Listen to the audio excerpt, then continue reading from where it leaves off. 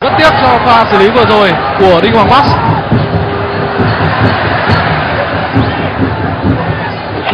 Hoàng Bắc đã có cơ hội rất trống trải để có thể tung ra cú dứt điểm.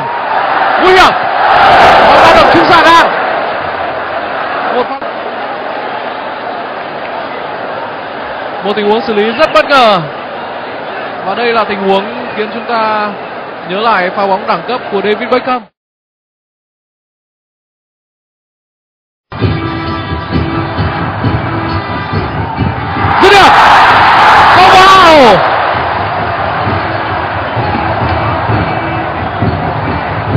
một pha bóng khiến cho hàng phòng ngự của Simon dưới Vista Ninh Bình bất ngờ. Phạm Nguyên Sa với thể hình nhỏ con đã len lỏi giữa các cầu thủ áo trắng và thực hiện một cú đá.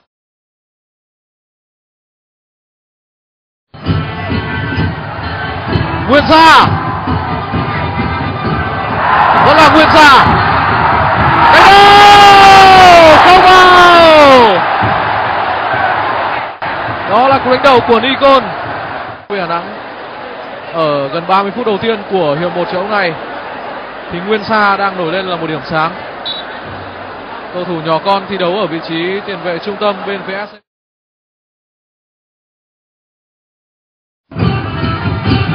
Minh Phương. Đánh đầu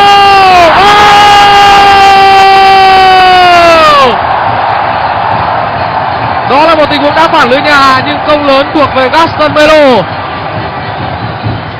Rất đáng tiếc cho các cầu thủ xi măng đường Vista Ninh Bình đã phạt cố định, trong đó có các quả phạt góc. Và trong tình huống này, khi mà Gaston Melo đánh đầu, thì Mota đã lóng ngóng đá phản lưới nhà.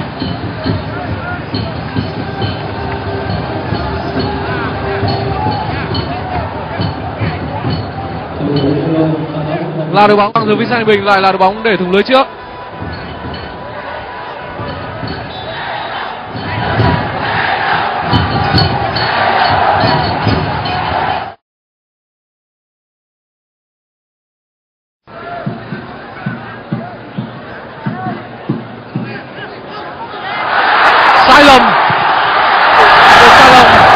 Có thể nói là chết người của trung vệ xi măng dưới Vista Ninh Bình. Tuy nhiên thì Nikon đã quá vô duyên trong vòng này. Đây không phải là lần đầu tiên Nikon bỏ lỡ cơ hội trong trận đấu mà chúng ta đang theo dõi.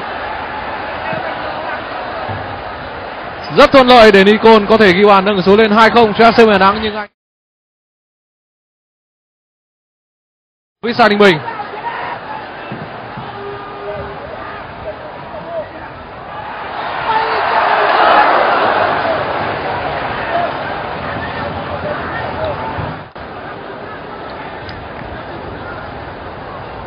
Lúc này thì có tới hai cầu thủ của đội chủ nhà đang bị đau.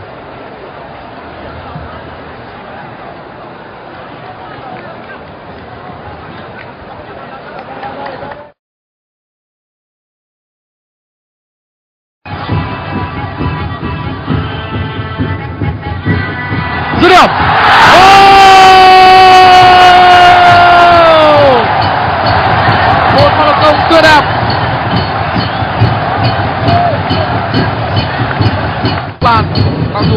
Cơ hội nhưng hiệp hai Nguyên Sa đã tỏa sáng với một cú điểm có thể nói là đẳng cấp.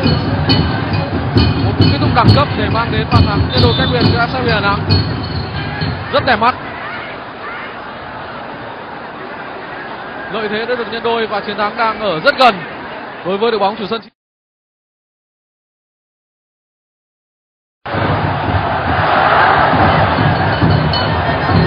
sau tình huống chuyển vào của Duy Lam thì người đã dứt điểm là Ngọc Thanh.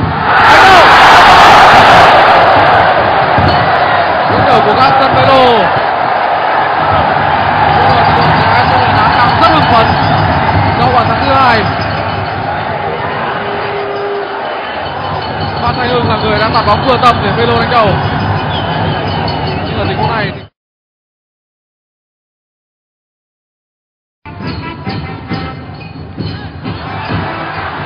4 phút 8 giờ của hiệp thi đấu thứ hai. Bàn thắng thứ ba đã đến với SCB Đà Nẵng sau pha lập công của Gaston Melo. Dấu tay và anh đang vươn lên, độc chiếm ngôi vị dẫn đầu trong danh ghi bàn vượt qua Felix Achala của tập đoàn cao su Tháp. Dứt điểm, sâu kim. Đối với thủ thành Nguyễn Mạnh Dũng của Gaston Melo. Sau đường